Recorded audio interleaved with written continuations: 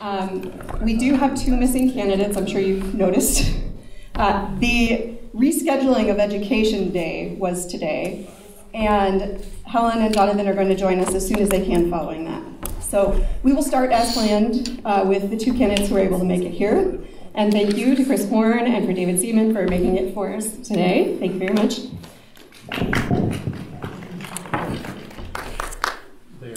Are you going to introduce yourself? Myself? Yes. Okay. uh, I'm Rebecca Shaw, and I am one of the co organizers for CoMo for Progress. Race Matters Friends invited us to come in with this uh, wonderful candidate forum. We're excited to help out tonight.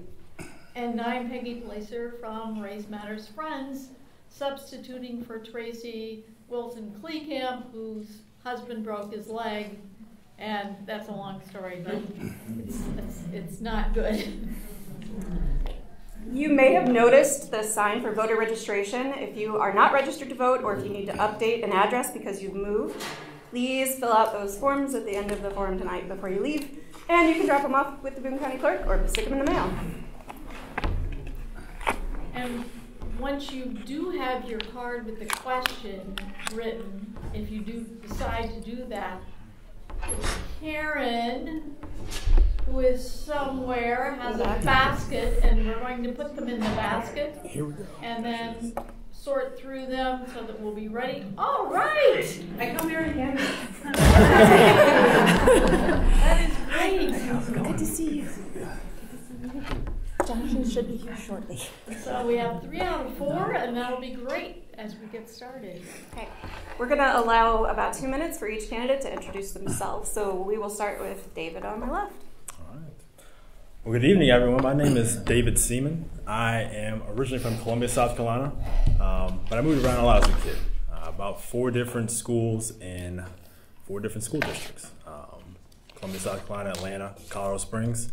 Finally settled here in 2003 at, uh, at Rockbridge. Um, the summer before my senior year, uh, my father passed away. Uh, that August, my wife, then girlfriend at the time, uh, told me she was pregnant. And the next day, I started my senior year of high school at Rockbridge. Um, going through that 11 to 9 to 11 month period, trying to figure out how to become a father while losing your father, um, while doing everything that happens in your senior year of high school was pretty tough. Um, and I always say that the only reason I was able to survive that was because I have a strong family. And the only reason I was able to graduate high school that year was because of the teachers and counselors and educators at Rockbridge. They were, uh, for lack of a better term, angels. Um, some of them are still involved in my life today. And they are the reason that I am sitting here before you as a high school graduate, college graduate, and Marine Corps officer. Um, we moved back here after my time in the military because we wanted to ensure that we gave students in CPS the same opportunities that I had, that my wife had. Um, because without CPS, I, I don't think I'd be sitting here in front of you today as a candidate for school board. So uh, I appreciate you all coming out. I'm looking forward to your questions, and I assume they're probably going to be difficult, but we'll figure it out together. Thank you. Uh, hey, good evening, everyone. I'm Chris Horn. Um, kind of similar background to David's in that uh, I'm not from Columbia. My parents were in the Air Force, um, so I had the, uh, the fortune, I guess you can say, to move around every four or five years.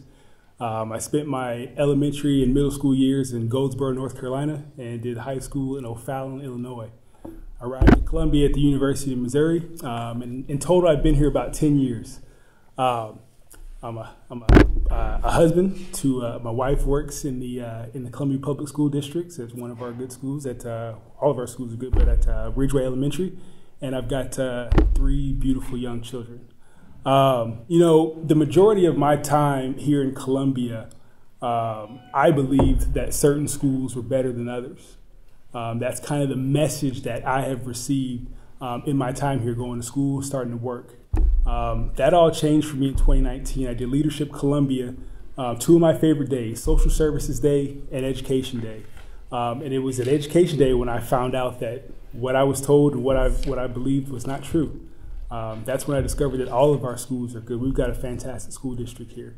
Um, and so learning that, learning more about myself, you know, learning more, more about some of the, the agency that I carry, the privilege that I carry throughout this world. Um, I knew better, so I wanted to do better. And so that's, that's why I'm sitting in front of you here today. Um, uh, you know, as fantastic as our school district is, we have some work to do. Um, and so, uh, you know, I'm all about equity and inclusion. Um, I really, really want to do the, the hard work to build an inclusive school district, both for our educators and for our students.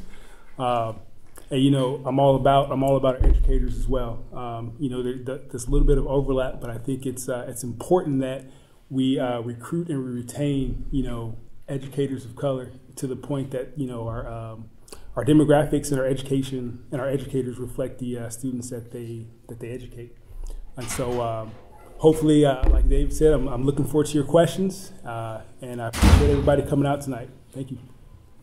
Hey, just in time. Uh, hi, I'm John Sessions. Uh, is that where we're at? Yes. Yeah. That's oh, where we're at. All right. That's how you intro. All right. Um, hi, I'm Jonathan Sessions. Uh, I was born and raised here in uh, Boone County. Uh, forgive my, my tardiness. We were wrapping up uh, Education Day, so um, let's see. Uh, born and raised here in Columbia, Missouri. Spent my entire K 12 uh, experience in the Columbia Public Schools and went to Russell, West, and Hickman. Uh, kind of went to Smith and they were opening it that year I was there.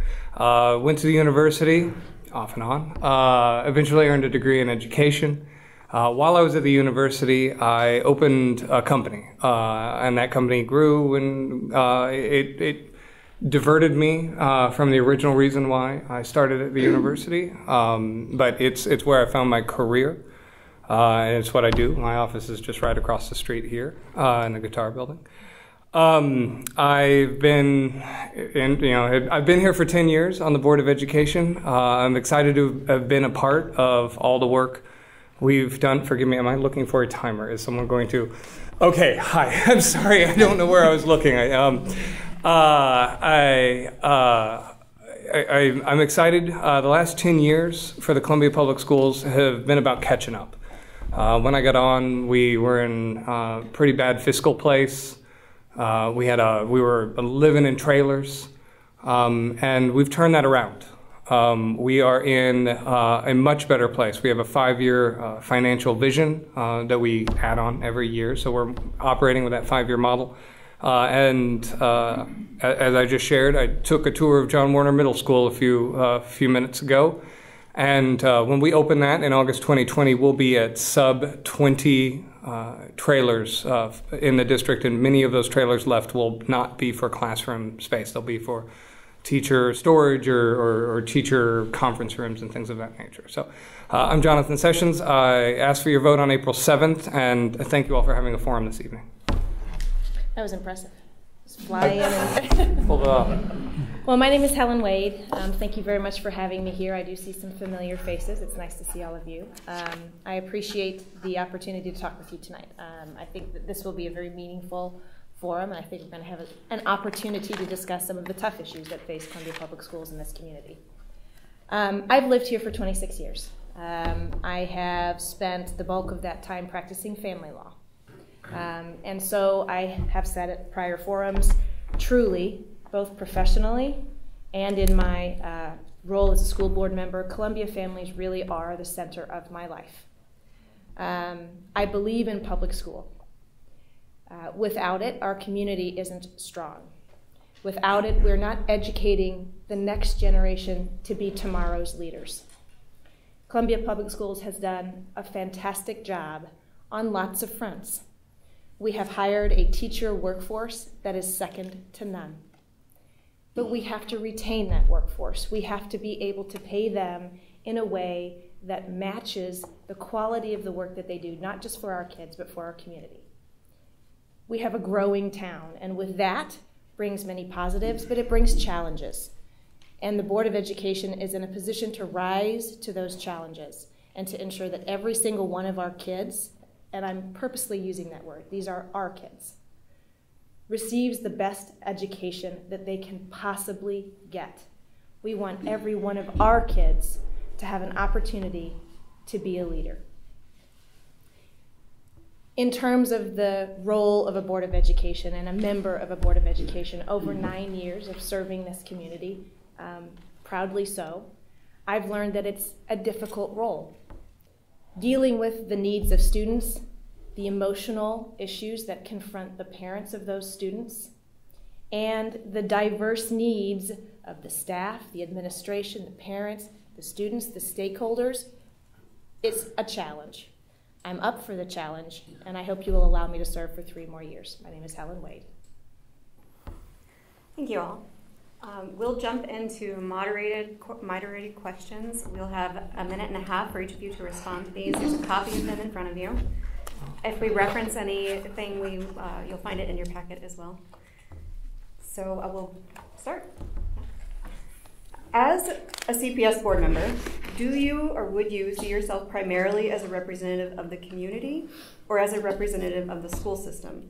Incumbent candidates, can you give an example of a time you found these two roles at odds and how did you ensure supporting both CPS and our students? If you don't mind, Helen, we'll start with you. So I don't mind at all. Okay.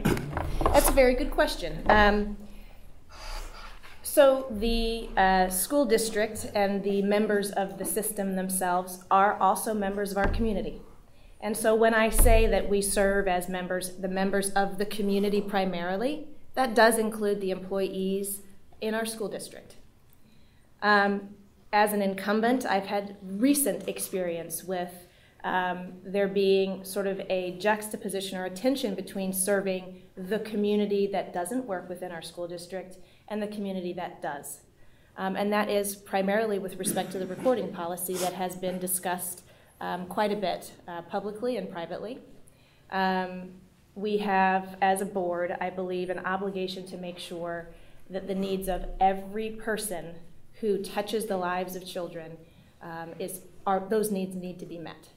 Um, and in addressing those needs, I'm listening to community members tell me that this is they want to be able to record their child's IEP meetings, and they're calling upon us to modify our policy to allow for that pro in a, um, a specific way.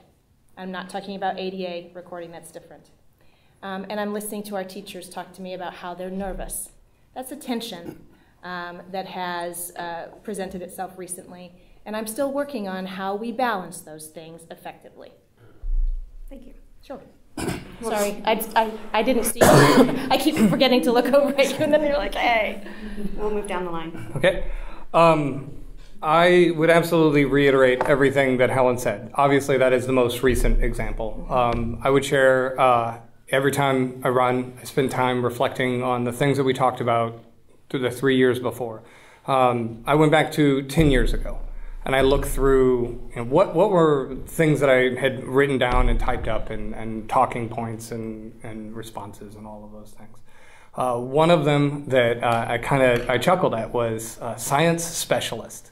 I don't uh, I don't remember if, uh, I don't know if anybody remembers science specialists, but it was the Steve Calloway's back there nodding.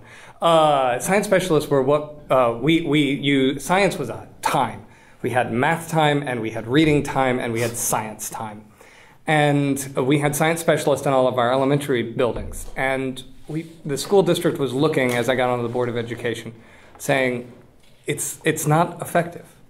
Uh, and so when we talk about um, as uh, maybe uh, at odds, uh, not only between the community, uh, but there were individuals within the district uh, that were at odds with each other as to whether or not this was a position we needed to keep, whether or not it was effective. Um, it was, and what we did was we took a moment, we reflected, we worked together, and we looked at data, and we made a data driven decision.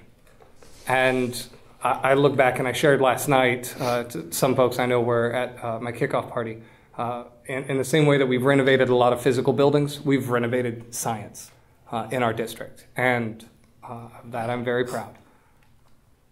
Thank Um, I see it. I see it as both. Right? At the end of the day, as board members, we're supposed to be advocates for, and so I think it's important to consider the positions and the uh, the wants and the needs and desires of the community. Um, at the same time, obviously, we are supposed to be giving the vision and the mission for our educators and our students. And so, whenever there is conflicts of those two, I think when we're making those tough decisions, it's important to take into the input of the community. But when we're making decisions, we have to make decisions what's best for our kids and for our educators. Um, and you know that should be that should be the basis. That should be the driver of the decisions that we make.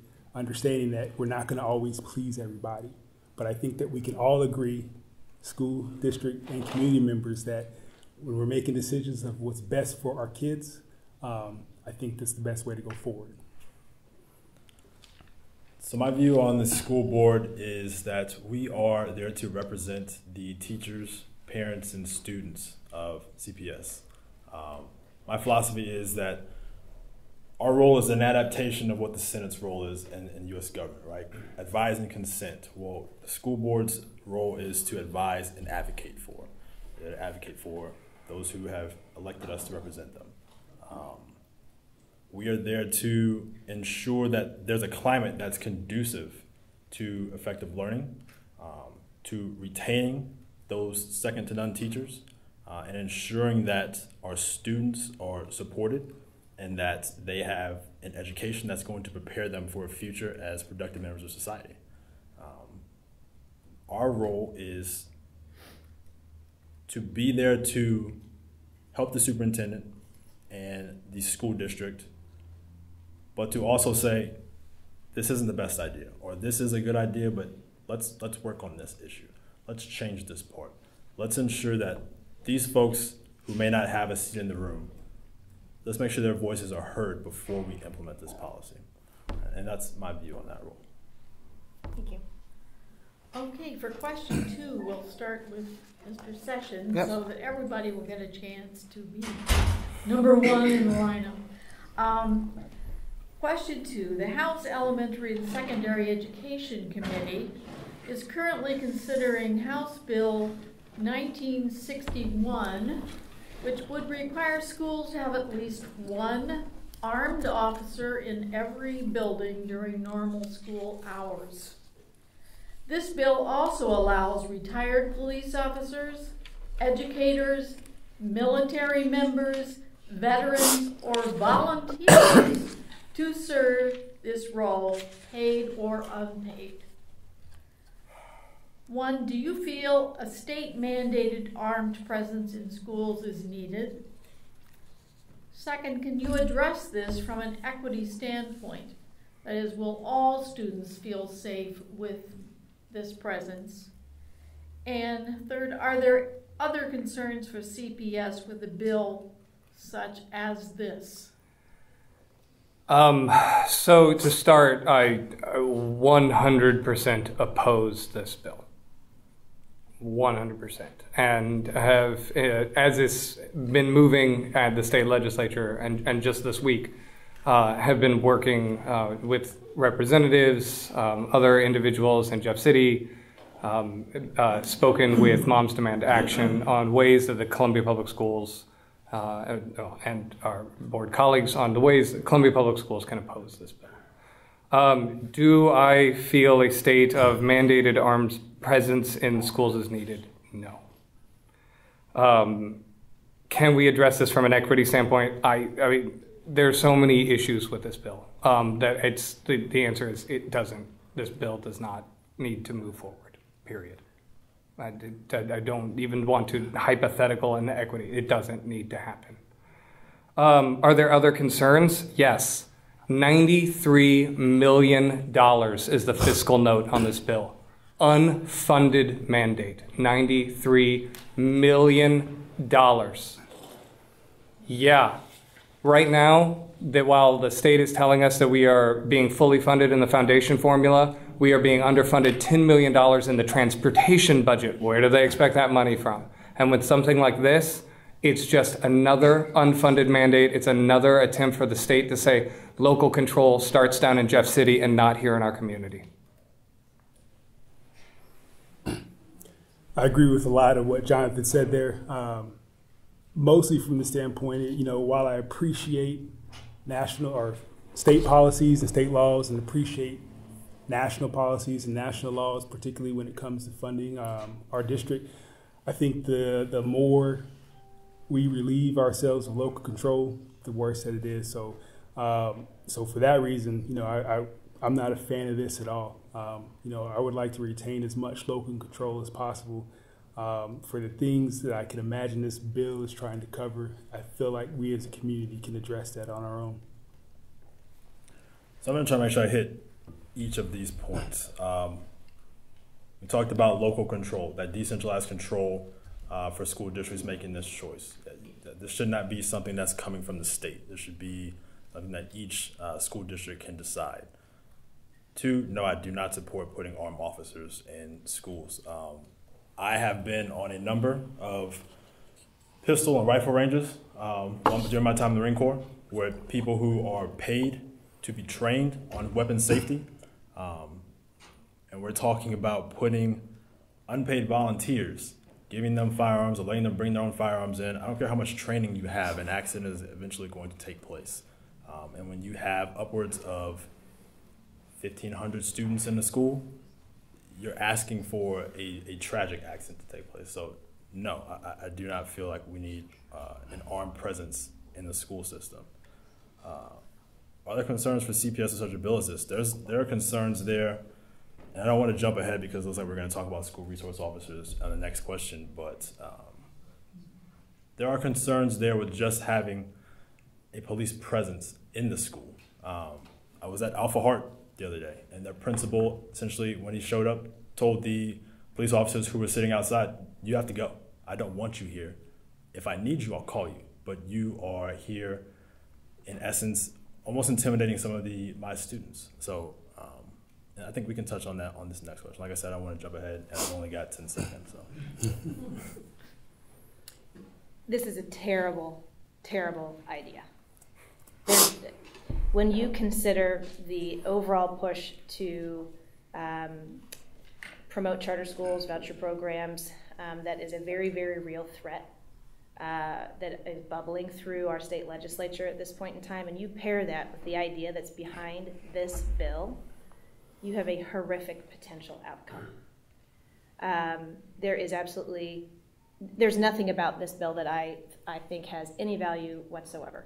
It's a terrible idea in terms of local control, one of the things that is important about local control is that we set policies. And policies can be changed. We can continue to have conversations about policies. But once a state law has been passed, it becomes an almost immovable object. Um, and we need that flexibility, particularly in a, in a uh, community like Columbia that is growing and changing rapidly. Um, in terms of equity, no, all students will not feel safe. Um, there's, no, there's no question in my mind about that. Um, in terms of other concerns, Jonathan uh, correctly said that this is a $93 million unfunded mandate for the state. It's a $2.5 million unfunded mandate for Columbia Public Schools alone. Um, from a fiscal imp impact point, it's completely unworkable, and there is no reward on the other side for the investment of those funds that could be spent so much better in other places. Thank you. Mr. Horn, we'll start with you for question three. Columbia currently has contracted four school resources officers.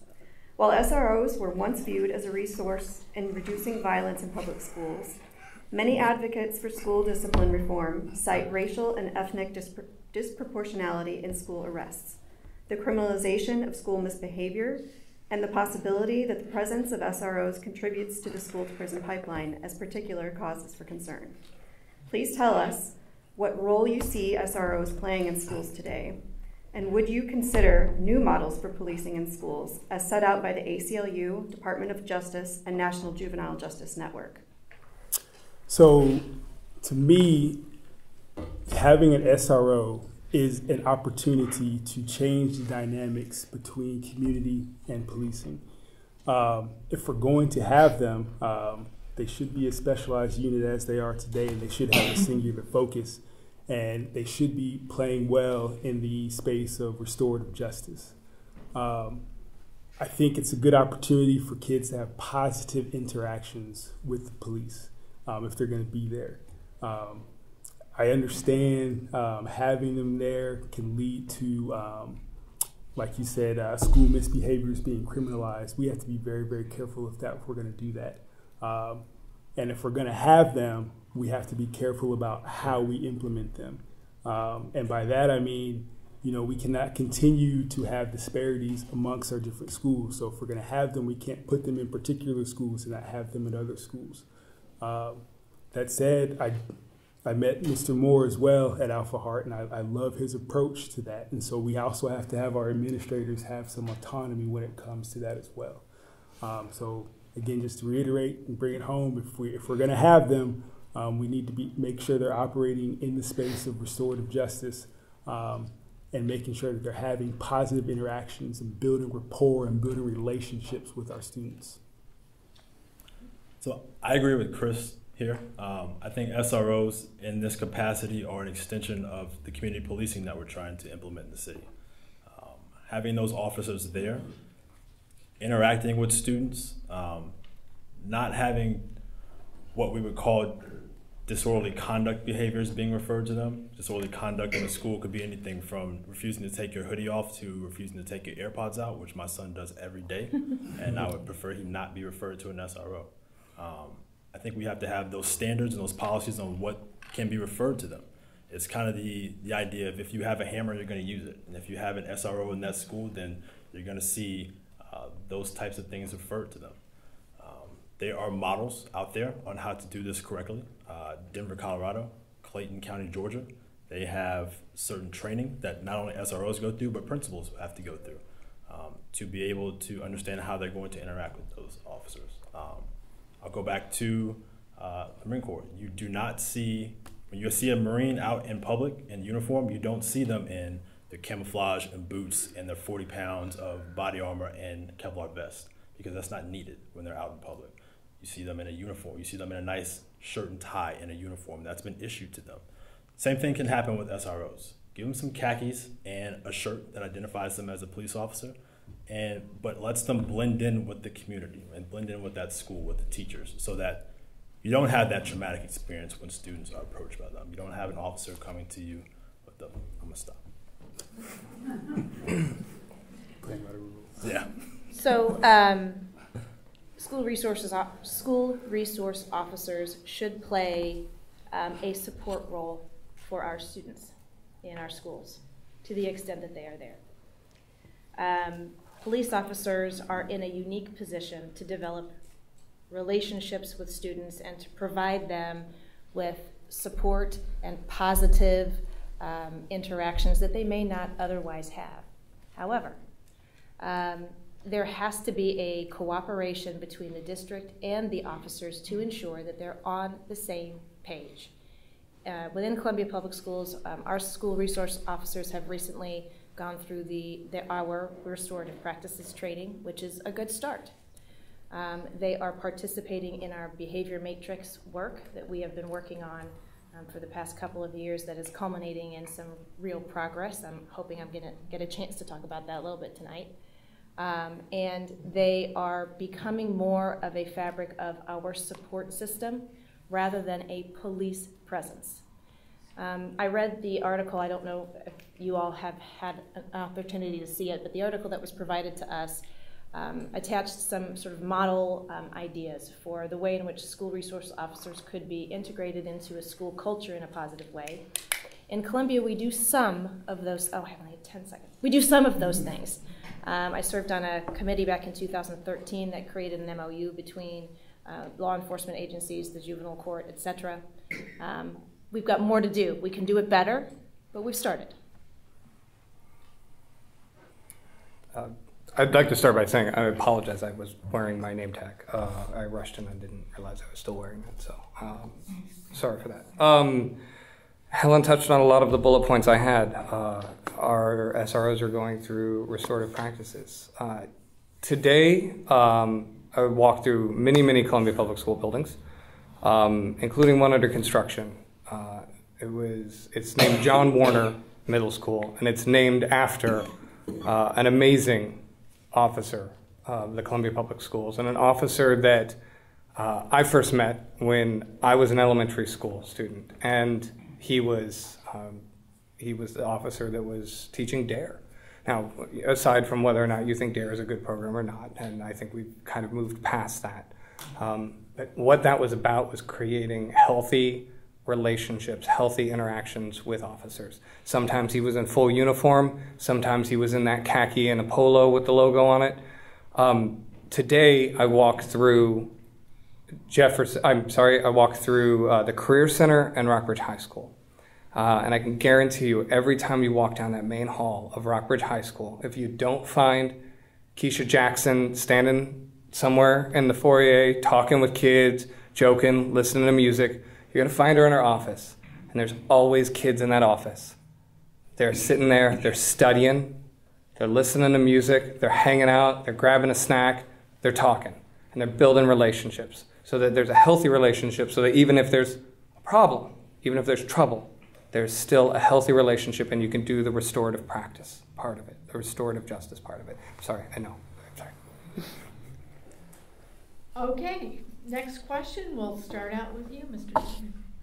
Our city has seen a rise in the need for free and reduced lunches, a rise in homeless population. Most recently reported there are over 100 homeless students in our district, and I would surmise that's a low estimate because there are housing insecure people living in motels and theoretically they're housed, but uh, not really.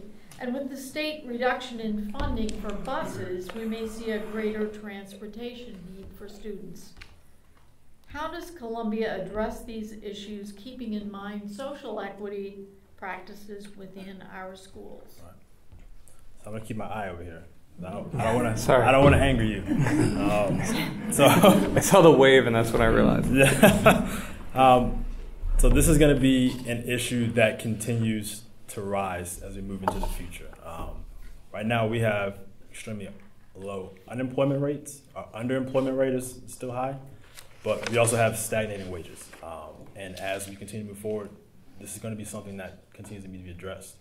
Um, I live on the south side of town, and my children go to Gentry and Mill Creek, which are, to be honest, pretty privileged schools. They don't have to deal with, or not deal with, they don't have as many of their peers that are on free or reduced lunches as, let's say, students who may live on the north side of town.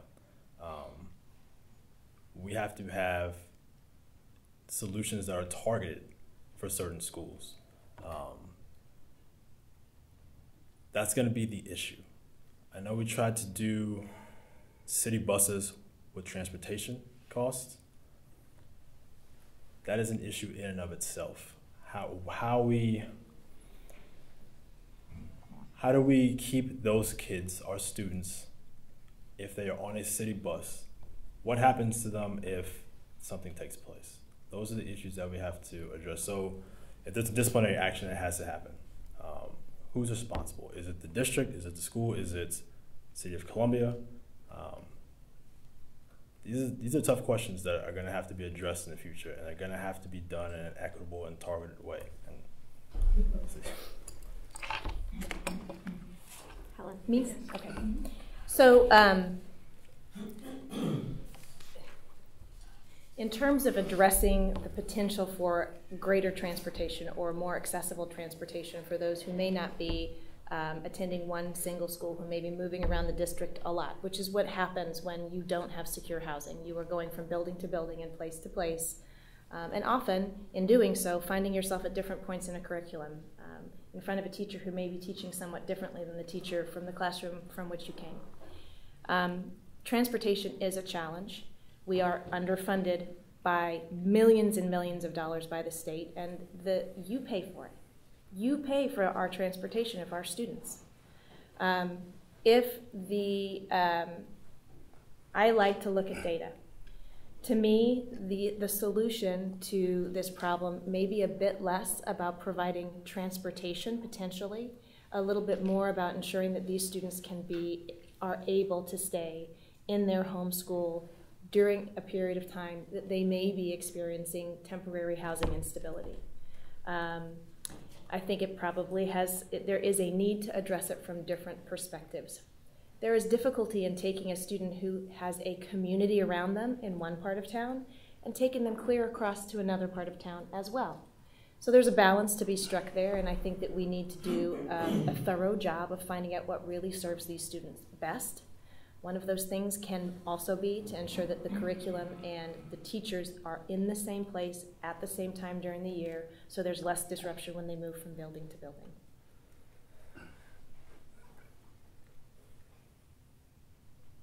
From a data standpoint, uh, a couple years ago, um, Dr. Stiepleman and I had a question, and it was a question of mobility. We looked at our highest mobile score, uh, school with a mobility of 75%. That means at the beginning of the year, 75% of, uh, by the end of the year, 75% of the kids that had started at that building are not there at the end of the year. And we ask a simple question. Uh, as someone who went and spent their entire K 6 career at Russell, we asked the question how many kids in this building stayed K 5 and how are they testing? How are they doing? How are they performing? The answer was out of this building of 400, 20. 20 kids over five years had stayed there the entire K 5 career. Those kids, 20, one was basic, and all of at the five point scale, if you're not map test folk, but uh, five point scale, one was basic, which means performing on grade level, and the other 19 were advanced, proficient, or advanced. The majority of them were advanced, which tells me if you're there in the building, you're getting an excellent education at even one of our most struggling schools because we have an amazing teachers. So what that tells me is when we get the opportunity to use McKinney-Vento, which gives us a little bit of liberal definition, you can start counting housing insecure as, as homeless you get extra resources. If we can keep a student in that stable classroom where they have a relationship with a teacher, that's the best chance we can give that child for success. Absolutely. No, to me, this is why inclusion is so important across our district. Um, our, our community is growing. We have so many great services to offer that people are coming to Boone County, coming to Columbia to receive these services. So you couple that with the university here, and you, you add that to all the opportunities outside of the services, people want to come to Columbia, and our community is becoming more and more diverse. Um, so, yes, funding is an issue to work around, um, but more importantly, working towards inclusion will help with a lot of these and making sure that each building across our district is a place that a student feels welcome. Um, each place across our district is a place where educator, all of our educators, feel welcome and included. Um, that way, when we have mobility issues or we have um, affordable housing issues where parents are forced to move from place to place, um, at least they know that when they, if they have to go to another building, they can expect the same treatment from the building with which they were in. Um, okay. Yep. Thank you. Our next question. CPS's contract with Catapult has come under fire recently, especially in regard to CORE's building and use of seclusion rooms. Please answer for current board members. Do you feel the current contract lays out education and disciplinary measures by Catapult well enough? And what would you like to see changed? For board candidates, do you feel like outsourcing the education and discipline of CPS students is something you would support? And what would you do differently? And all, if you all could answer, do you feel there is sufficient communication between the board, Catapult, and the school superintendent in regard to the education and safety of children in the Catapult program? Am I, I believe yes. I believe yes. Okay. Um, okay. So, uh, just to be clear, I am a candidate. I'm not speaking on behalf of the board as I answer these questions. Um, in terms of the current contract, uh, there isn't much substance in the current contract as it relates to the specific disciplinary practices and procedures undertaken by Catapult with respect to the students who attend that program. There may be a reason for that. Um, I'm going to talk about that. When a student uh, is enrolled at the Catapult, in the Catapult program, they're enrolled there as a result of an IEP plan that has been put in place for that particular student. Um, often in an IEP plan itself, there are specific uh, provisions in place for the manner in which a student's behavioral challenges may be appropriately managed. Um, and so for each student, that may be very, very different. And putting that language in the terms of a contract between two entities may not be an appropriate place for that information, which led me to ask well, then where is it? Um, aside from being in the IEP plans themselves, the documents that are associated with these individual students, there is a very comprehensive um, layout of what Catapult does and what practices they employ, what tiered uh, behavior interventions are used, how they're used, and when they're used in the handbook that parents are given when they enroll their students. Having said all of that, um, I do think that communication needs to be improved and there needs to be clarity that these are, these are students that we are responsible for ultimately. There needs to be a clarity and an alignment between CPS policies and any, uh, any contractor's practices when interacting with our students. Um, and there needs to be some, specifically with that contract, th there is wording in that contract that is inconsistent with the wording of our policies that needs to be clarified to the, and it needs to be the same. We need to be utilizing the same words, the same definitions to describe and discuss um, everything associated with that program. Sorry, I ran. Out. I've got so much more to say on this. um, yes. Uh, so again, I'm under the same time constraints for what is a, a large question and a large contract and a relationship. It's a relationship with Catapult that has existed already uh, with the High Roads program. Um, the goal of all of these programs is to help educate students to build self-regulation skills so that we can get back to a general general education classroom. Um, when it when it comes time to re, uh, review this contract, uh, I do think there are some things in that contract that need to be clarified, some points of communication, some relationships how that um, points of contact need to be clarified. I also think there's definite some uh, there needs to be some clear definitions um, or sorry some clear lines of communications for families and uh, what those relationships were for the families that are attending that program. So just again very handy to have an attorney on the board of education and i would reiterate then uh, lean on her expertise in many many ways and shapes and forms uh, but it is something that every year when contracts come up, we need to take the time to review them and make them better and improve those relationships, again, under the lens of what is best for students. I'll start with the second question first about sufficient communication. I don't think that there currently is. I think that can be improved. Um, I think that's pretty, uh, pretty evident there. As far as outsourcing um, the services of education and discipline for our children, um, I wasn't in the room when the decision was made, so I'm going to trust that a lot of work went into making that decision. Um, that said, um, you know, I think that we had two groups of people that were upset when that happened. You know, the educators that were there um, probably didn't appreciate having to, having to be replaced. Um, uh, and, uh, and then, of course, the, uh, the parents that uh, the students that received the services. Um, I think that um, you know, what would I do differently? Uh, you know, that's when we, yeah, I go back to the first question about making sure that we take in input from the community before we make these big decisions. Um, that said, I, I, understand that the kids that are being services serviced by the by Catapult, um, they specialize in what they do, and so I trust that if they're going to be there and the decisions were made to have them in place, um, we trust that they're going to be able to do what they should do. That said, they need to be held to the same level of accountability, the same standards as the rest of our CPS educators. Um, you know, I think the bigger issue here is that for the longest time, um, CORE was being used as a way to put kids in a place that people didn't want to deal with. And that's something that we need to correct um, in addition to making sure that whatever services or however we decide to go forward, um, standards are equal across the board. So I agree with that last statement that Chris made. It, feels as though, having spoken to a number of parents whose children are in core, that they feel as though their student was placed there because nobody wanted to deal with them. Um, and if we're going to talk about transparency being a value uh, of Columbia Public Schools, that communication needs to not just be between the board and Catapult and superintendent, but also the parents. Uh, they need to know what's happening with their child.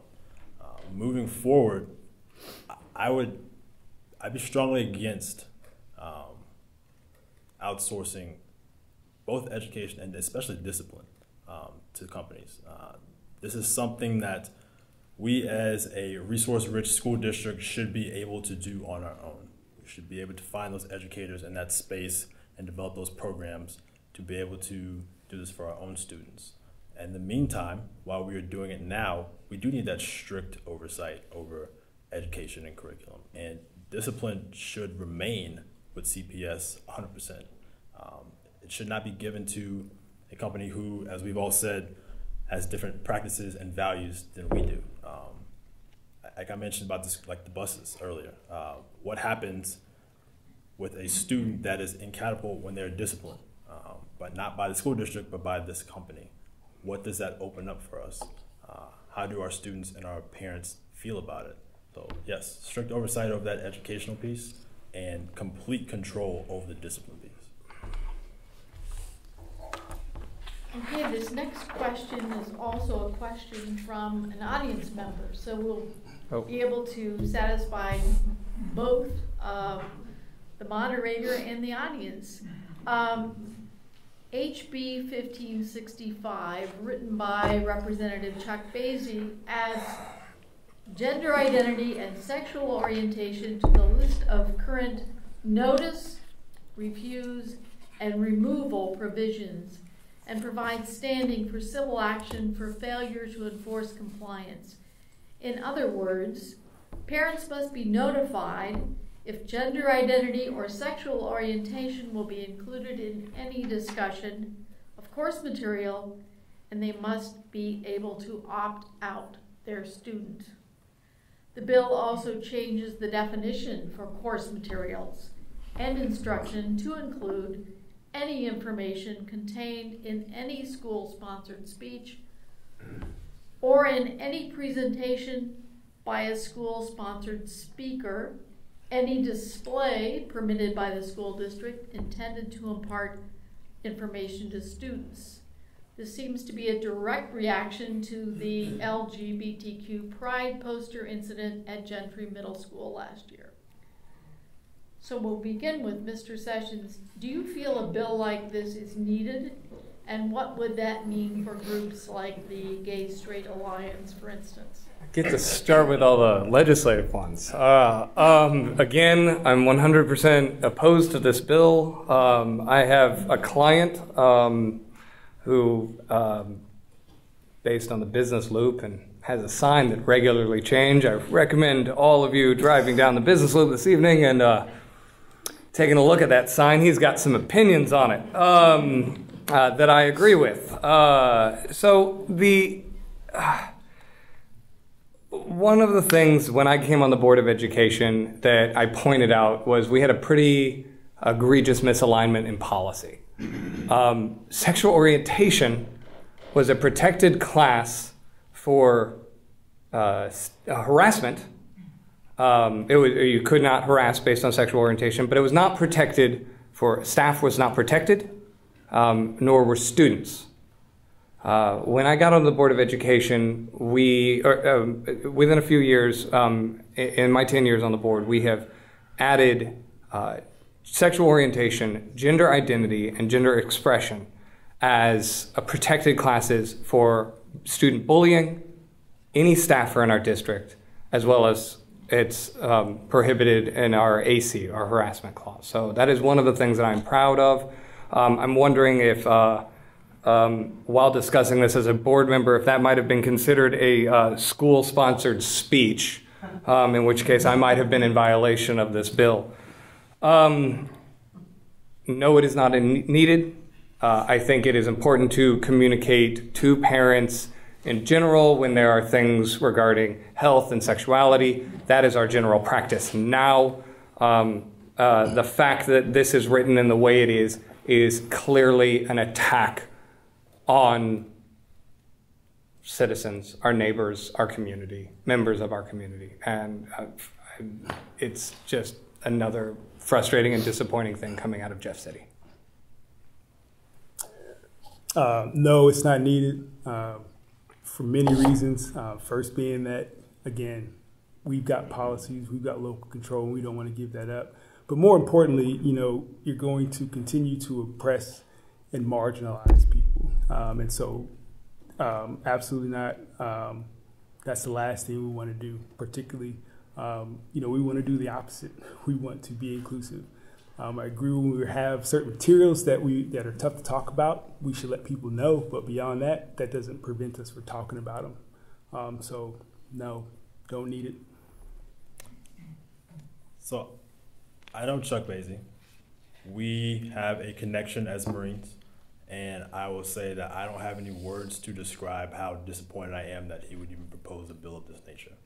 Um, the idea that we would need to be able to give somebody the notice, refusal, and removal provisions um, because of someone's identity is wholeheartedly insane to me. Um, I view it through the context of what Ruby Bridges went through when she was integrating schools. Um, as a black man who is married to a his wife is white, um, on the day that we have finally, as a nation, begin the process of making lynchings uh, illegal and a federal crime, um, this is not something that we should be talking about. Suicide rates for LGBTQ students are almost 50%. And what you have done is essentially told them that your life is not worth the time. Um, you're going to create an atmosphere where those rates are going to increase. And it's, I'm sorry, I'm just I'm trying to tone down a little bit, but this is this is a, a subject that I feel yes is extremely frustrating. This is a, a topic that I feel very strongly about. Um, so no, the, the simple answer is no. No, it's not needed. And it doesn't seem to be a response, it is a response. Um, there was a personal public comment made by Representative Basye to, in, a, in a public way at the school board meeting that directly is related to this. He didn't want his granddaughter to have to share a bathroom with someone who was transgender. That's, that's where this is coming from. So, not only is it not needed, it not only does it marginalize and oppress those who are very vulnerable to begin with, the state sets curriculum. This law is ridiculous. It, it- the state tells us what we are going to teach. It doesn't govern what kind of extracurricular activities our schools may allow. Um, it's ill conceived, it's illogical, and it's disrespectful.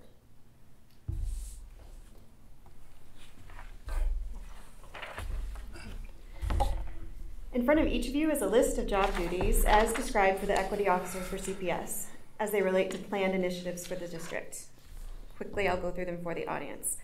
Analyze district wide policies and procedures to ensure the district's emphasis on achievement, enrichment, and opportunity. Monitor and analyze attendance and discipline data. Work with colleagues to seek alternatives and reduce disparities. Direct district wide equity teams. Direct district wide restorative practices initiatives.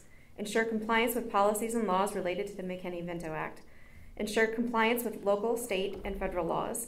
Serve on the Board of Education Policy Committee. Establish and maintain positive community relationships. Promote a well-trained, committed, and motivated staff.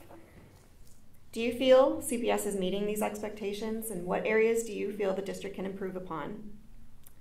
As a follow-up, if you have time to answer, what type of information would you expect to be in an equity work group report, and how often would you expect that group to meet? So I I've met with uh, with Carla London, and you know I had the opportunity to hear her plans and the work that she's implemented and the work that she's done in the time that she's been here, going from what was nothing to where we are now, and the work that she's trying to do, she's trying to. We as a community, we as a school district, are trying to undo generational wrongs and she is she is working extremely hard. Our district is working extremely hard to implement policies and initiatives to help our educators um, mitigate their biases, understand the impacts of uh, the biases they bring into, the, in their, into their classrooms and what it has on our students. Um, and, you know, this is one of those spaces where um, people want change right now, and I couldn't agree more. Um, but this is also the same space where it takes time to undo a lot of these wrongs. And so I think that the work that's being done right now is good. Um, I do still think there's opportunities to improve. I think it should be a, a number one priority um, because it directly affects our educa- it directly affects the education of our students.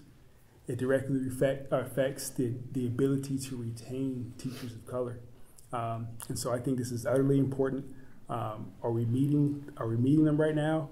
I think we're working very well, close to meeting them, um, but we still have some room to grow. So Chris, Chris met Carl London. I'm looking forward to meeting her. Um, one question I'm going to have for her is, do you feel like there's too much on your plate? Um, have you been given too many responsibilities? Uh, as equity and diversity officers have become a national trend, what we've seen is most fail because they're given too many responsibilities and they are unable to focus on what they should be, which is equity uh, and restorative practices. Um, are we meeting these expectations? What areas do we feel, like, what areas do I feel like we can improve upon? I, I think the overall climate. Um, when you talk to black and brown teachers in this school district, they feel like they're not listened to. Um, and the thing that I think we are missing is that climate. So when we talk about climate, my son goes to Gentry. What took place at Gentry earlier this year with the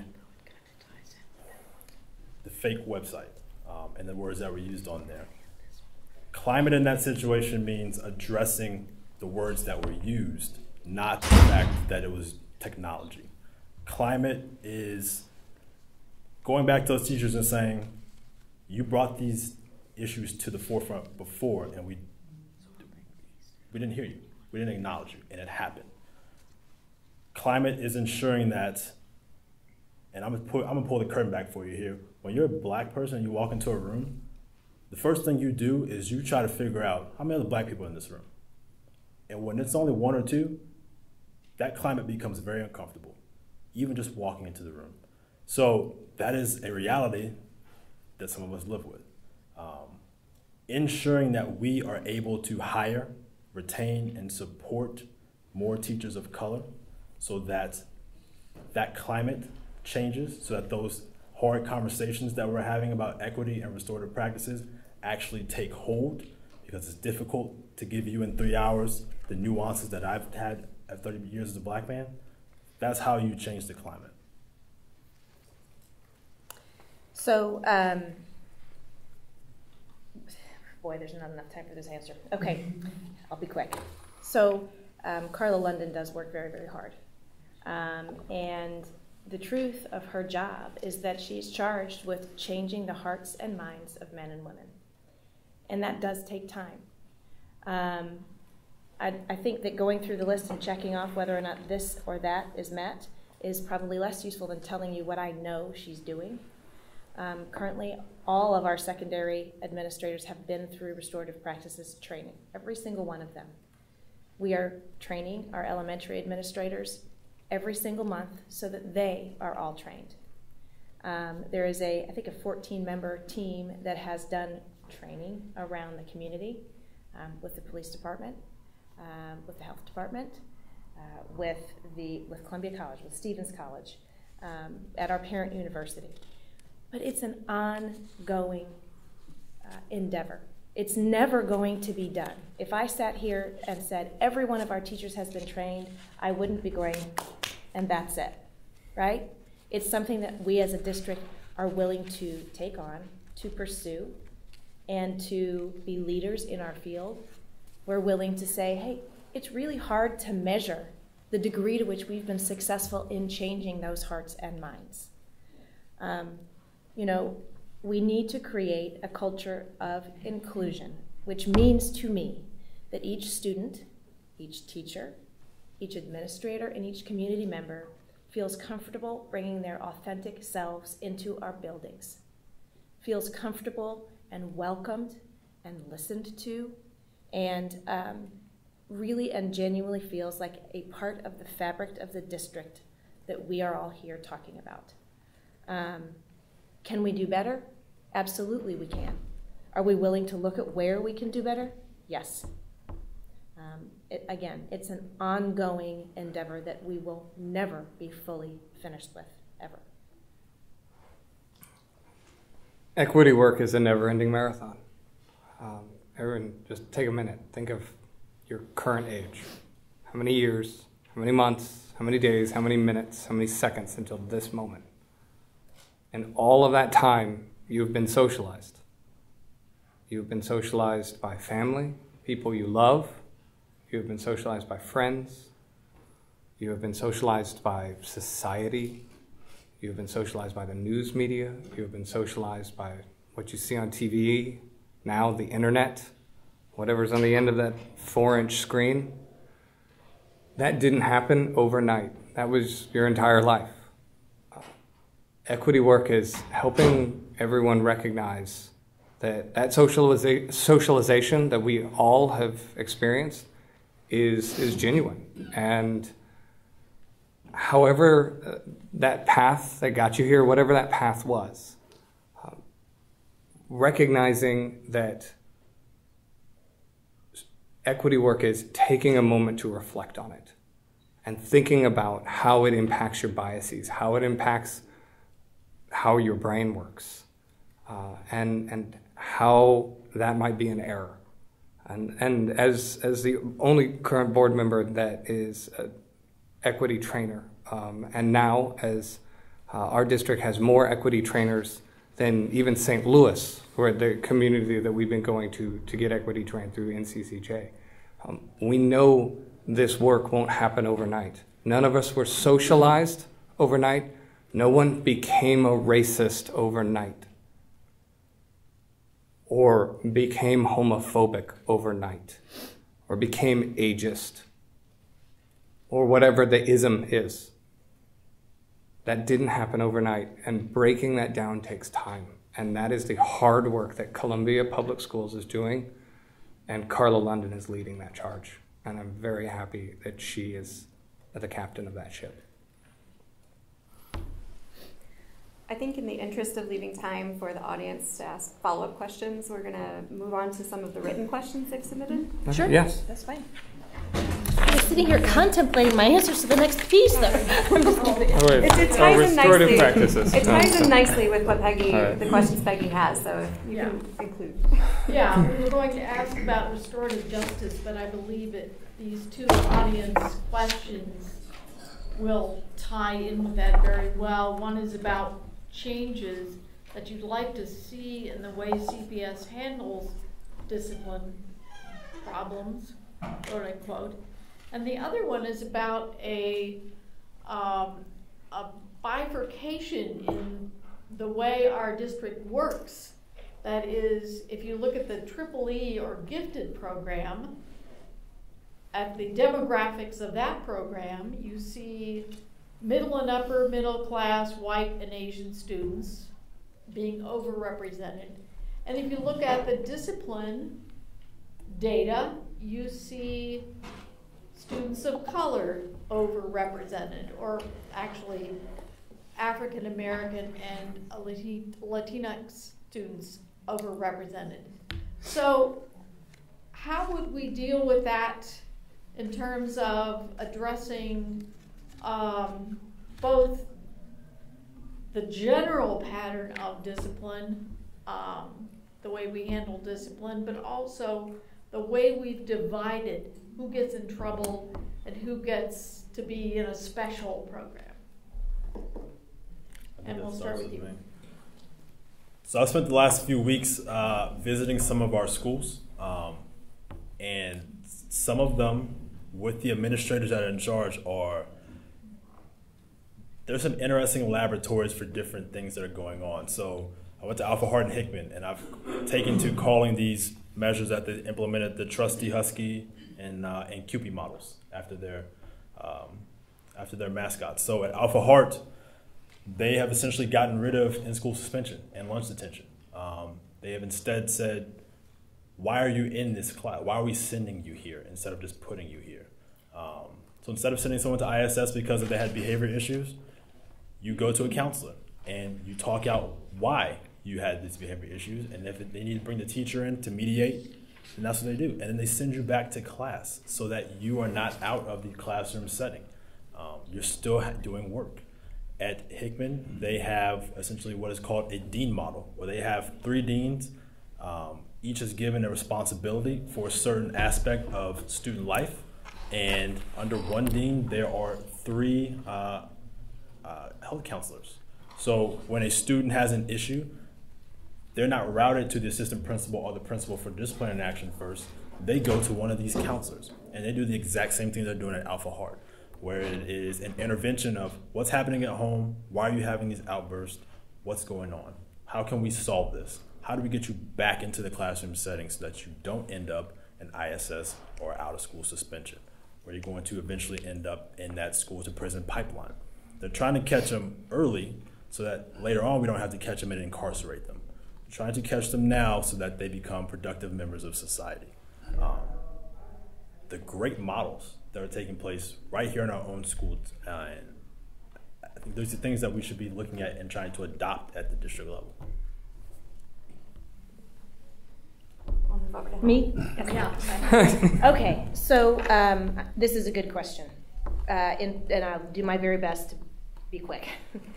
So uh, the Columbia Public Schools has recognized that there is a bifurcation and a disproportionality in terms of the representation of the students in gifted and accelerated learning environments and those that are subject to discipline. I asked um, our data guru today to tell me, well, what, what is the number? Well, I'll tell you what it is. If you are a black student, you are 4.1 times more likely to be in out of school suspension within Columbia Public Schools. That's the number. And it's worse than what the Tribune reported because their math was wrong. But that's the number. That's a problem. Okay? What is Columbia Public Schools doing about it? Well, um, over the last two years, we have uh, embarked on an, a very difficult mission of assembling a way to make our behavioral interventions uniform, fair, and reasonable. That's really hard to do when you're dealing with humans, okay?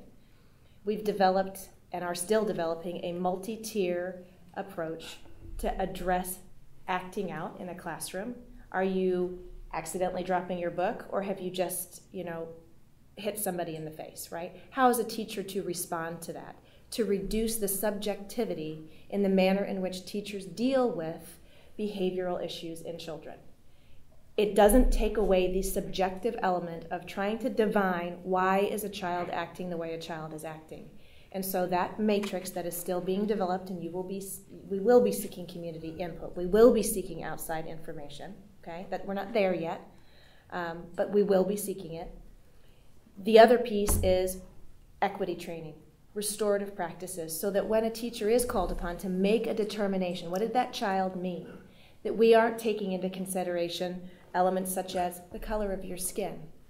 Instead, you are able to consider that whole child, where that child comes from, what his or her experiences may be like, and make better decisions. Sorry, I'm out of time.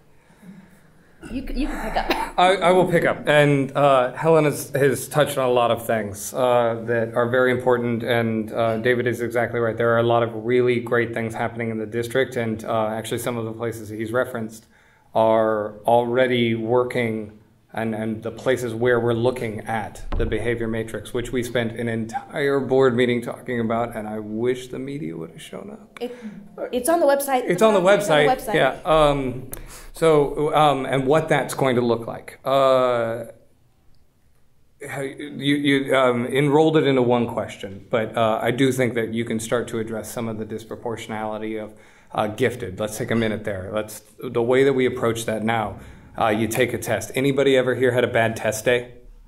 Okay, that's how we base gifted is the A test, single time, one time. Um, it's a test that you have to opt into. Not everybody is given this test. You have to kind of seek it out, so which already shows some level of engagement uh, from a parent, a parent that has the opportunity and involvement. Um, so that is that is definitely a challenge. It is And then you look at students that may struggle in one area but are gifted in others, and they can't shine in the way that we currently look at our model. And um, I know that there are people that love the way that we approach gifted education, but uh, I have some struggles with the fact that it pulls kids out of our current classrooms, moves them into other buildings. Uh, education often doesn't uh, progress on those days in elementary level because half of the class may be gone or a portion of the class may be gone. Um, so there's a, a, lot of issues with it uh, from parent engagement, um, also, you know, not recognizing the way that all of us may be gifted, even though we may struggle or have challenges in other ways. Um, so that's the gifted piece that uh, I don't think we've had a chance to. Uh, one of the things that I think is the most important, uh, 10 seconds. One of the things that I think is most important about, um, about the behavior matrix is it pushes things back into the classroom. Um, and it builds a relationship with the teacher and the student. That's first. Restorative justice doesn't work if there's not a relationship to restore. That is where it starts, and you have to work on building that relation. That teacher has to work with building relationships, and that's the first part of the behavior matrix. Is not just there's an issue, go to the office. There's an issue, go to the office. It's about making sure there's a relationship. I'm sorry, I'm going over time. A lot in that question. Oh, question. So, um, looking at the district scorecard, Last year, uh, the goal was to have 600 or less or fewer out of school suspensions. There were 810. 821. 11 more. Um, and when you look at it for our black students, the goal was 150, there were 414. Um, attendance goal was 92%, 73%. So the point is, we have to keep kids in the classroom to educate. So out of school speech doesn't work, in school speech doesn't work. What I've seen in my visits to schools, um, I've seen some really good practices though. I don't think, you know, we, we spend a lot of time looking at numbers and talking about the bad things, but we should talk more about the good things. And so some of these restorative practices I've seen, particularly um, at Benton and Parkade, they got this real cool uh, concept called conscious discipline. And so um, the whole concept is, you know, particularly if you have two kids that have a conflict, they have this cool little mat, you know, kids you, you hurt my feelings, well, this is how it made me feel. You work towards together, you embrace. And so um, that's one thing. Another thing they have, um, they've gotten rid of in school suspension rooms and they have recovery rooms where kids can go. You know, they were upset in the classroom, student said something, teacher said something. Come here, let's talk about how you feel. And the whole concept is you're in there 15 minutes max, and let's get you back into the classroom where you can learn. Um, those are the sorts of practices that we're talking about in making sure that our kids can achieve. Um, I'll, I'll, piggyback on, on Alpha as well. Um, at Alpha Hart, um, he wants to bring AVID down to the elementary level. Okay, AVID's a program that identifies students that are really, really close. You know, we're talking students that are getting B's but should get A's, they just need that extra push. Um, right now, it's in our middle schools, it's in our high schools. He wants to bring it down to elementary level. That's a game changer. Um, also, at our high schools right now, um, one of our high schools is intentionally identifying students that should be in AP programs and are making it so that they can get there. And they're not only putting students of color in these programs, they're making sure when they walk into a room, they see other kids that look like them. Because, like David mentioned earlier, that is different. You walk into a room and you don't see anybody that looks like you, you want to get out of there. And so they are intentionally identifying these students, intentionally making sure that educators and resources available so that when they are in these AP classrooms, they stay in these AP, AP classrooms. Thank you. Our third audience question, um, they write, thank you for being here. My son is in the DI program for children on the autism spectrum in CPS. The program and staff are fantastic, but we just found out that it is moving yet again to another school site next year. Children on the spectrum often struggle with change and need routine. Are there ways to maintain more consistency with these programs, even as the district grows? And I believe we're starting with Helen this time. Um, yes. Particularly of students who are on the spectrum, it is an issue to change where these children are located, especially on a repeated basis. Um, it is also true that in order to meet the needs of students, we can't always have those programs that are necessary to a group of students in every single building. Um, I think that it is, we need to do a better job of making sure that the students' needs are placed first. Um, and particularly in terms of those kind of classrooms, finding and keeping a, com- a constant common place, staff, um, and environment is important. It, it is an educational element for those particular students. Um, are there alternatives? There's always alternatives. There are always ways to do it better. Um, and this is probably a really good example of how we need to do it better, like now, um, and find a home for that program to stay. Uh, I agree with Helen um, wholeheartedly. It is, um, I think there are a couple things uh, that are important as we continue to um, build new buildings um, and renovate old buildings. We are making sure that we are including the, while focusing on issues of making sure the buildings aren't just compliant but accessible, we're making sure that we have the facilities in each of these buildings so that we can house more programs uh, throughout the district without having to have um, central hubs or move students around. Uh, the other thing that I think uh, is important is we talked about a, a SEPAC, um, and I forget the uh, what the acronym stands for, but it was um, I, Laura's back there mumbling the Special Education Parent Advisory Committee. I think Political Action Committee, so forgive me. But it's it's about getting uh, district leaders, teachers, sped teachers, um, and families and stakeholders together to work together um, and and focus on communication and dialogue. And uh, it, as we move towards uh, having uh, a SEPAC, I think, and as we have one, um, we'll have an opportunity to get more parent voice and um, and and and be better able to hear and listen. Uh, and, I, and, that's why I'm, I'm uh, eager to have that implemented. So. Uh, to me, it's it's the whole infrastructure surrounding special education needs to be addressed. Um, you know, uh, we talk about fostering an environment of inclusion, um, it's easy to forget about those that are in the margins, and I feel like that's what's happening here. Um, I had I heard a story about uh, a parent who whose kid same spectrum, and they were transitioning from elementary to middle school, and the the parent was told it's going to be okay. It's going to be okay. Your kid's taken care of. Um, kid gets to middle school without a transition plan. Shows up day one, first time in a new building.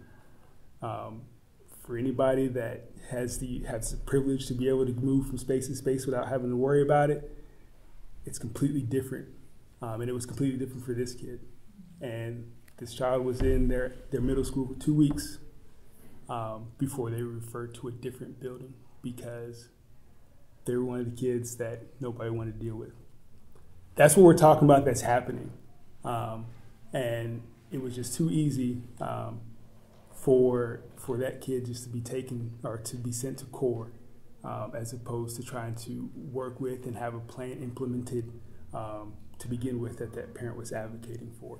And so um, I said all to say, you know, that's where we need to do the work we really need to take a hard look at our infrastructure around our special education programs and everything surrounding it.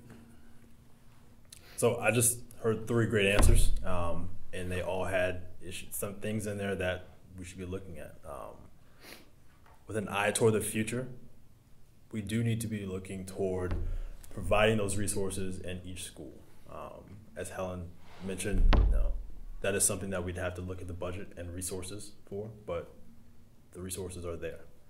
Um, it is difficult, as Chris said. I've had the privilege of moving around a lot. Every two years, I was in a different school, but I wasn't on the spectrum. Um, when I showed up to a school, I knew what I was. I knew where I was going. I knew where to go. I knew who to talk to. Um, when you are moving these students constantly it does become a problem. Um, and it is an issue of are we removing them from the area that they actually live in? So are we taking them away from the students that they see outside when they're playing in their neighborhood every day and sending them to a different school? Um, are we separating them from their siblings in some case? Um, that, that is something that we have to keep an eye towards and ensure that we're paying attention to and making a priority so that we can help solve that issue. Okay, we, um, beg your, uh, indulgence to, can we do one more question? One more audience question? Yes. Okay. Um, this one will start with, uh, Mr. Sessions. Mhm. Um, and this one is, what are you doing to dismantle the ways that white supremacy shows up in your life and influences your work on the board?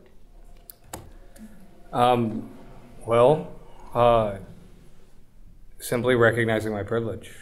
Um, and uh, I have done a lot of self reflection and uh, um, self dismantling uh, as I went through the NCCJ equity training program. Um, it's, um, I know there, are, there were um, a couple other uh, trainers um, in, in the room, and I think that um, uh, most of us would share that it is a uh, difficult and cathartic uh, experience to, uh, especially for someone um, who sits in such a position of power as me, um, a, a white, cisgendered man um, of middle class, of, of reasonable socioeconomic status.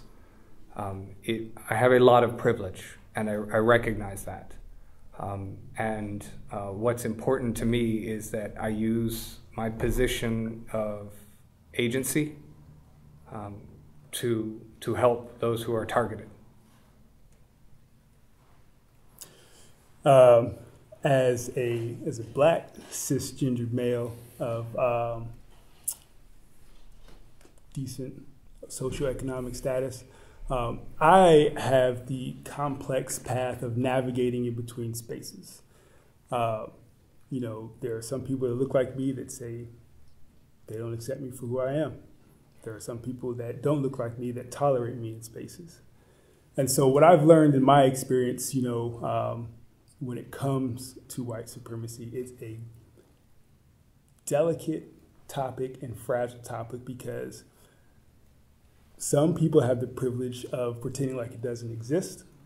Um, some people right out embrace it and they love it. Um, some people just don't know. They quite frankly don't know. They don't believe it's a thing that exists and that's real.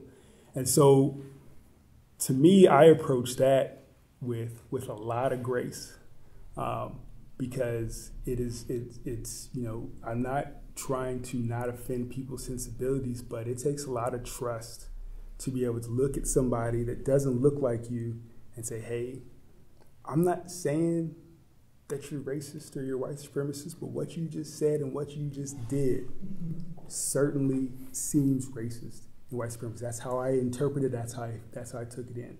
And so, the short answer is building relationships, building rapport, building trust, so you can so you can address those typical when you when you have those points of encounter, you can address them in a truthful and honest way to truly affect change.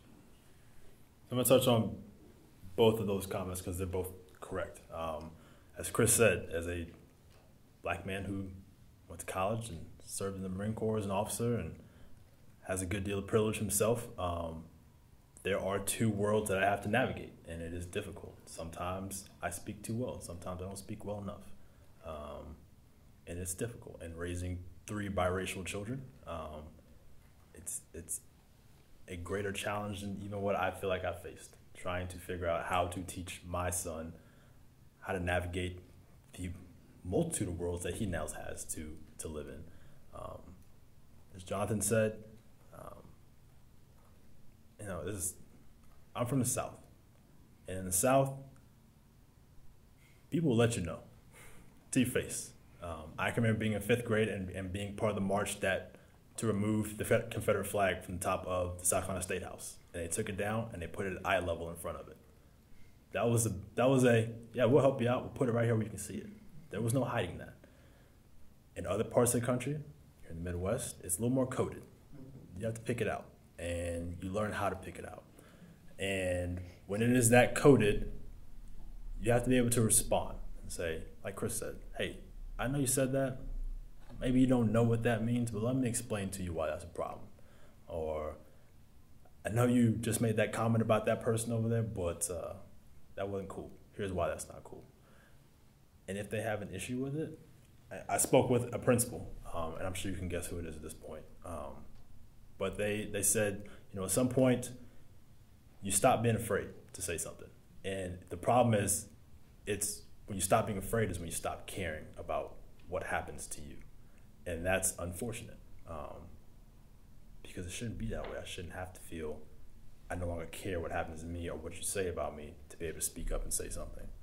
So I appreciate Jonathan, I appreciate Helen being here with us and, and addressing all these issues. So it's always hard to go last because this group has very, a lot of insight. But, um, you know, I grew up very much like David. I moved, I went to six different elementary schools, two different middle schools, and four different high schools. Um, and I was always the new kid, right? And there was nothing more terrifying in the world to me than walking into a lunchroom. It was the most horrible place possible. You don't know where to sit, you didn't see anybody familiar, you felt out of place. Um, but I was out of place because I was new, not because of something that was inherently me. Um, throughout the course of my being on the board, um, I have uh, gotten deeper and deeper into the question of who I am and confronting the biases I have, um, the assumptions that I make on a daily basis. I actually uh, spent a week writing down as I'd, I'd see someone and I'd think something. And I wanted to see what, who am I this person? Am I the person that I think I might be? And the things that I would thought, thought and confronting those things that just occur to you, not because someone told you to think it, not because somebody sat you down at some point and said, "Hey, this is this is how you should see these things," was absolutely incredible to me. Um, I'm a student. I'm learning. I'm actively learning. I'm engaged in not just as a school board member in equity training and in learning about restorative practices as a member of the bar, um, learning how bias invades our judicial system.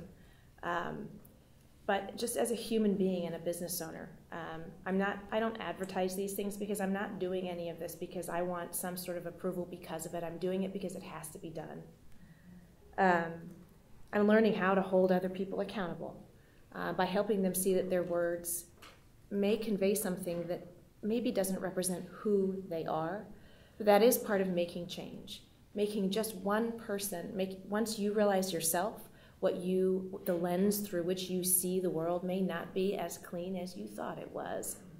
But allowing someone else the opportunity to see that has the potential to really start to affect change. And that's really what we have to do as members of a school board, human beings, members of a community. I'm sorry, I saw you wave it think uh, we're over our planned time. um, if anybody has a burning question that they didn't get to write down, you're welcome to stand up and say or ask. Please. So, um, in uh, the media, we uh, saw that there was a recent uh, incident with a six-year-old child who was uh, arrested um, or you know, and cut by uh, local police department. Um, I just want to know how you all, again, going back to those seclusion uh, practices or instances like those, how do you all uh, think that the district there in that city, I can't remember where, but should have handled that? Um, and if there are some, some type of repercussion or uh, instances that um, those those individuals should definitely be considering um, as uh, leaders in their, in their communities. we ended with Helen, I believe. Yes, we did. So, John, or no, Jonathan started her. So I'm on you. I get to go last. Yes, it does. That's right. That's right. Uh, I'm sorry, it happened to where? Orlando, Florida. Orlando, Florida. Thank you. Listen, without without knowing the specifics of the story, I can tell you this: um, it'd have to be a pretty egregious act um, to put a six-year-old in cuffs. Okay, um, that that kid better present an extreme danger to himself, to others, to the police officer who has a weapon and is, I'm assuming, is bigger than him. Um, so I'll start there. Um, if there, there, you have to look at the totality of the circumstances, okay, um, in, in any situation. And that applies here in Columbia. Um, when we talk about restraints and seclusions, um, you know, there are policies in place for which those should be used, and there are trainings required for those that are using them. And, you know, when they're used, we have reporting practices that are supposed to happen as well. And so it should be absolutely clear that if a kid had to be restrained for whatever reason, it should be absolutely, absolutely clear why, how it was done, and what the result of it was. Um, it's an unfortunate thing that we have to have them, but we're talking about humans as well, okay? Um, we as adults understand when we make a mistake or we do wrong, there's punishments for that. We got little humans that unfortunately do the same thing, so that's why we have to have these practices. But when we have them, there should be clear results of when they happen. Um, and when we get to the extreme of putting children in handcuffs, um, there better be a very, very clear reason why. I'm gonna look at that through the lens of law enforcement. I have had some law enforcement training, and there's totality of circumstances. You have to look at that in every single situation. Um, but I'll reiterate, just to bring it home, for putting kids in handcuffs, it needs to be egregious and it needs to be absolutely clear. And everybody sitting in this room, when they look at that situation, they should all say, "Yeah, that that was happened properly." I'm gonna touch on a few things. Um, question. So I, I saw that video. Um, seeing a six-year-old in the back of a police car crying, begging to be let out, is not something anybody wants to see. Um, the question is, like Chris said, why that happened? How do we get to that point? Um, do we have educators and counselors who are trained in de-escalation techniques? Um, I have a teacher friend who has taught elementary school and high school, and he said, if a fifth grader tells you they're gonna hit you, you can pretty much ignore that. He said, a junior in high school tells you they're gonna hit you, you need to watch your back as you're going to the parking lot because you might get hit. Um, there are different aspects for different grade levels on how those threats are perceived. As Chris said, there's almost no reason I can think of why you would put a six-year-old in handcuffs. Um, I have a seven-year-old out in that room over there. I can't imagine her needing to be put in, in I can't imagine the police needing to be called on her at that point. So, to your second part of that question, what kind of recourse is there? Um, we talked about data a lot. Are we tracking which teachers are putting these referrals in? Which teachers are needing that SRO's help more often than not? Um, is it the same teacher all the time? Is it just this was a once in, one-time incident with this student and this teacher? I think those are things that we can track and figure out. You know, teacher A seems to always have to have a referral there. Why is that? Are the referrals warranted, or is it just because, like I said, you got a hoodie on and you said no, and I called the SRO on you? I'm sorry. Go, go ahead. Go No, ahead. no, no. No, no. I'm sorry. Yeah, go ahead. Alec. Um, so this child was having a temper tantrum, um, and the teachers in that particular school knew that this child was suffering from the secondary side effects of uh, sleep apnea. And um, ultimately, I believe that one of the officers involved in the incident was fired, um, and it clearly, clearly should have absolutely never happened. Here's why I think this is a, a teaching moment. Um, teachers inherently want to do right by their students. I believe that. I particularly believe that about the teachers that we have working in our community. No teacher wants to restrain a child. No teacher wants to isolate a child. And no teacher wants to seclude a child. And as Chris said, we have policies in place that, if followed uh, with fidelity, prescribe that these are, these are interventions of last resort. They're not to be used in a punitive way. Um, there are other ways to handle a child who's having a temper tantrum because they're overtired that doesn't involve a call to the local law enforcement. It is an unpleasant truth that some of our students are dangerous to themselves. Some of our students are dangerous to others. And there are times when it is necessary to intervene with a physical touching. It does happen, and for me to sit in front of you and say, oh, no, no, it's not necessary, we can completely do away with it, it wouldn't be true. Um, I don't want to create an environment in Columbia Public Schools where teachers are so afraid to intervene in reasonable ways when a child does present a danger to themselves that the first thing they do is call law enforcement. I don't ever want to see something like that happening in Columbia Public Schools. And I do think our teachers need the appropriate training, the appropriate support, the appropriate backing to be able to handle all of our students' needs and to respond to them so our kids can stay in school um, and have an opportunity to learn. Sorry. Last is so easy. Um, I, I, forgive me. I've been running since about 5:30 this morning, and uh, I have a lot of red dots on my phone. So I have not had an opportunity. I kind of saw this headline fly across my screen earlier today. I haven't had an opportunity to actually see that particular situation, and so I cannot respond to that directly. So for that, I'm sorry. Um, I would reiterate Helen's comments tenfold. Um, you talk to any teacher and you ask them those questions, and you add uh, to the ones that Helen asked, like, do you want to have children arrested? And the answer is going to be no. Uh, the um, if we are talking about that level of intervention, it must be as Chris said, a, a situation so extreme, student at serious risk of injuring themselves, other students, or, or adults in the room. Um, that, that everyone in this room says, if they witnessed the situation and were there, said this was the right intervention.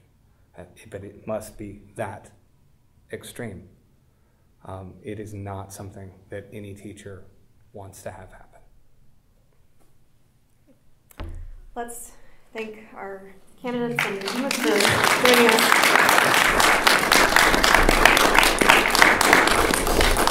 We appreciate all of your time and we look forward to the elections. Thank you. Thank you. April 7th. April 7th. April 7th.